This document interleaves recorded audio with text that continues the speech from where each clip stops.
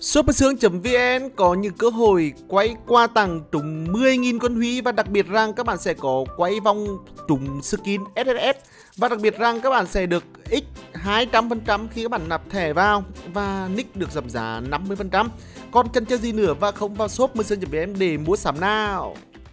Chào dỗ, chào mừng các bạn và chào mừng các bạn đã quay lại với channel của chúng ta. Hôm nay chúng ta sẽ nói đến với một vị tướng Zena. Thực sự Minh Đình không làm vị tướng Zena này đâu Nhưng vì bất đắc gì lắm mình mới phải làm. Bởi vì Veret là một vị tướng rất là hot ở trong đội đơn danh vòng. Khi tất cả các bạn có những trận đấu chuyên nghiệp thì Veret được pick trong vị trí đi đường rất nhiều. Veret được pick khi đối đầu với các vị tướng sát thủ Và đặc biệt rằng giai đoạn đầu game nó đe các vị tướng sát thủ rất là ghê gớm.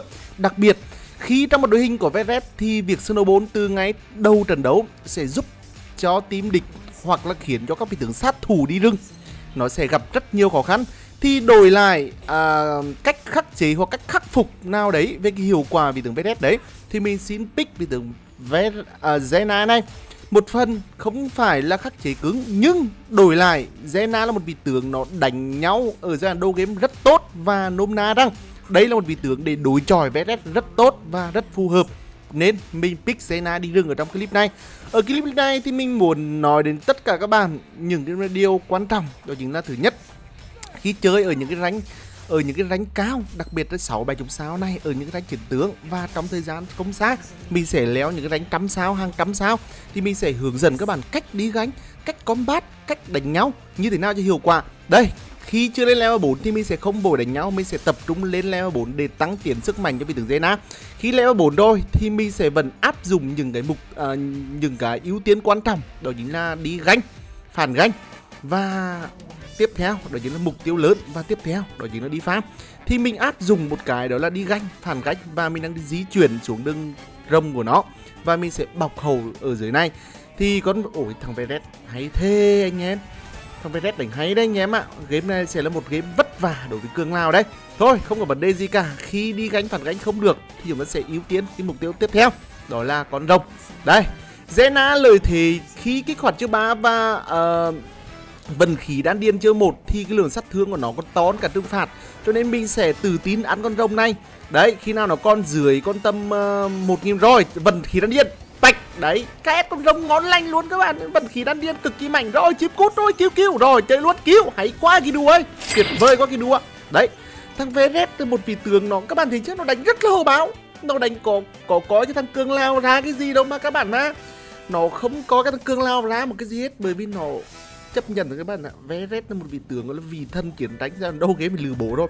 Gọi là Veret đấy chứ còn bắc bắc có Veret thì thì thì thì thì thì thì, thì, thì, thì nam lại lại có lừa bố ấy. Các bạn ạ hai vị tướng đâu game nó đập nhau ghê lắm. Cho nên là đấy máy mình pick Zena này chúng một cái phần nào đấy. Chứ vì dù game này mình pick sát thủ thì thật đi về trong Veret nó khổ lắm. Nó gặp mình là nó nhảy nó gặp tao là nó vầu cho nên mệt. Đấy rồi khi mục tiêu lớn phản cánh xong rồi. Đây đây đây đây, con ta thân nhỏ đây từ từ vần khí đan điên này, từ từ ăn đi ăn đi ăn đi. Rồi, kêu ba, một, hai, bạch. Đấy các bạn, chưa cần biết là kỹ năng cương lao, đánh nhau vẽ rét hay như nào, nhưng mình chỉ cần biết là cái vần khí đan điên của thằng của thằng Zena này, nó KS cái con bua thì nó con tón cả trung phạt anh em ạ. Nó tón cả trung phạt. Đấy, nó tón cả trung phạt. Thì mình nói thật các bạn lại cay đắng lắm. Đấy cho nên à, về cái phân tích tướng của cương lao đối đầu với red thì sẽ có một điểm cộng nhá. Đấy như bạn nói anh ơi chẳng qua đây do anh cương lao chơi chứ em pick có hợp lý đó.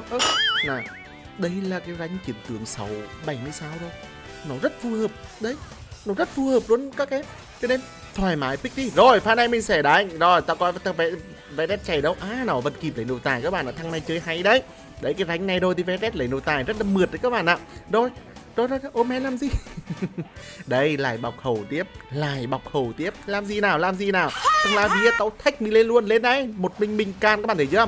Các bạn thấy mình chiếc tách đội hình rồi đã chưa? Rồi ăn thằng này xong chim cút nào? Từ từ rồi chim cút các bạn ôi một đội một. Cái pha này tiếc thế. Đấy. rồi trong cái giai đoạn đầu game thì mình đã thành công.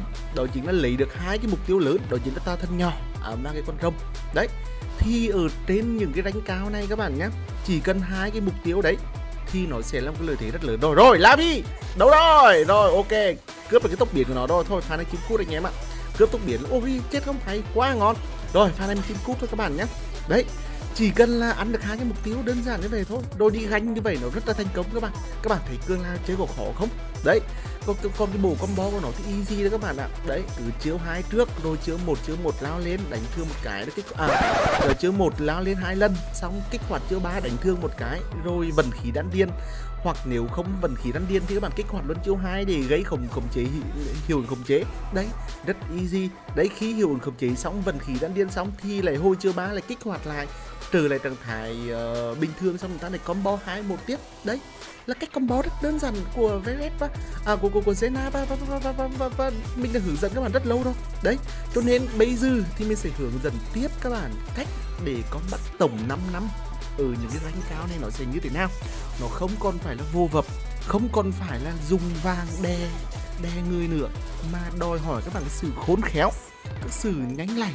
Đấy, trong một cái pha combat giao tranh thì miền thế nào chúng ta loại bỏ một vị tướng bất kỳ của tiếng địch ra khỏi giao tranh tốt nhất có thể. Đấy cái pha này mình sẽ nấp bùi để có thằng nào mình sẽ loại bỏ được. Mình thấy, rồi, vé đét thất máu. Mình sẽ loại bỏ vé đét trước các bạn nhìn này. Chiêu hai một một lao lên cái khoản chiêu ba này rồi một mầm bạch trội vật khí đã điện thái này thì xong rồi chứ nữa. Hết hết hết làm hết rồi. Mình đã làm hết trong pha combat này rồi các bạn nhé. Đấy. Các bạn thấy chưa? Trong pha combat à cái này là cái chế độ mình cài kiểu là phun mắc HD cho nên là đứng trong bụi thì các bạn cứ nghĩ là ở ngoài nhưng không mình đang đứng trong bụi đấy. Đấy cho nên là là nhiều bạn uh, sẽ rất là bất ngờ cái phá này. Ơ anh cơn la đứng ngoài bụi mà không phải đâu ở trong bụi các bạn nhé. Đấy các bạn thấy chưa? Rất là easy trong combat tổng thì mình cái cái mục tiêu gọi là mình ưu tiên nhất gọi là loại bỏ thằng nào bất kể team địch. Một thằng ra khỏi giao tranh sớm nhất là chúng ta có lợi. Chứ cái meta này là cái meta nó gọi là cái meta đồng đổi các bạn nhé. Đồng đội không còn một vị tướng cân 5 hay không còn một vị tướng cân 4 không còn một người gánh 5 gánh 4 nữa. Mà đây là một gọi là liên quân bình dương nó thiên về những trận đấu của đồng đội rồi. Cho nên nếu chúng ta loại bỏ được một vị tướng của team địch ra càng sớm thì lợi thế giao tranh tổng của chúng ta càng hiệu quả.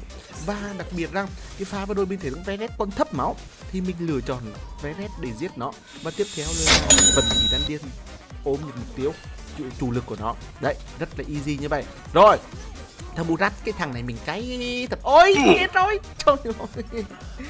Rất tiếc các bạn nha.